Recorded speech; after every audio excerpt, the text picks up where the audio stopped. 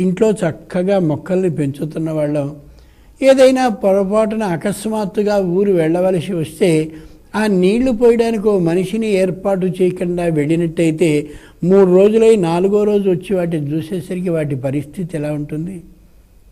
ఆకులన్నీ ఇలా వాలిపోయి తల ఇలా వాలేసుకుని పాపం చెట్టు ఎప్పుడు వస్తావా? ఎప్పుడు నీళ్ళు పోస్తావా? అన్నట్టుగా మన కోసం ఎదురు చూస్తున్నట్టుగా ఉంటుంది. ఒక్క దోసెడు నీళ్ళని అలా చేతి మీద నీళ్ళు పోసి చక్కగా అలా పోస్తే ఒక్క ఐదు నిమిషాల్లో గమనించండి. వెంటనే మళ్ళీ ఆకులన్నీ అలా వెచ్చుకుని తలలా ఎత్తి మంచి పని చేసావురా నాయన? ప్రాణాన్ని నిలిపావు. సుఖంగా ఉండని ఆశీర్వదిస్తున్నట్టుగా అదే మొక్క ఉంటుంది. ఇది మనకి అనుభవంలో తెలుస్తున్న విషయం. మొక్కని ఉపవసించేలా మనమే చేశాం.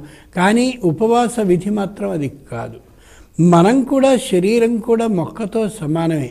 శరీరాన్ని వృక్షంతో పోల్చినటువంటి విధానం మనకి ప్రతి ఇతిహాసంలో ప్రతి పురాణంలో కనిపిస్తుంది.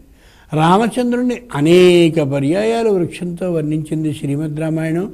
దుర్యోధనుణ్ణి అలాగే ధర్మరాజుని కూడా వృక్షంతోనే పోల్చి చెప్పింది. దుర్యోధనో రోషమయో మహాద్రుమ దుర్యోధనుడు రోషం అనే పేరు కలిగినటువంటి పెద్ద చెట్టు అని అలా వర్ణించాడు. అంచేత చెట్టుతో వ్యక్తిని వర్ణించడం ఉంది కాబట్టి చెట్టుకి పూర్వదశ సన్ననైన మొక్క కాబట్టి చెట్టుకి వ్యక్తికి పోలికుందని మహానుభావులైన వాల్మీకి వ్యాసుడు చెప్పారు కాబట్టి మనం కూడా చెట్టుకి పూర్వరూపమైనటువంటి మొక్కలాంటి వాళ్ళం లేదా చెట్టు లాంటి వాళ్ళం కాబట్టి మనము ఉపవాస విధిని చాలా జాగ్రత్తగా చేయాలి.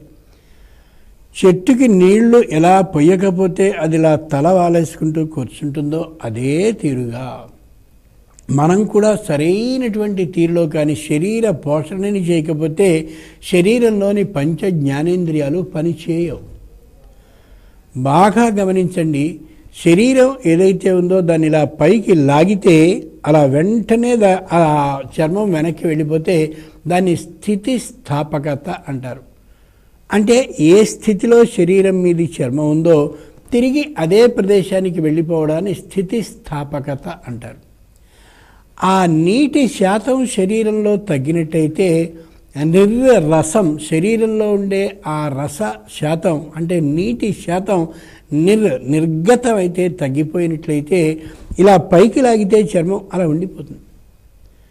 అంచేత నీటి శాతం ఎప్పుడూ శరీరంలో తగ్గకుండా చూసుకుంటూ ఉండాలి.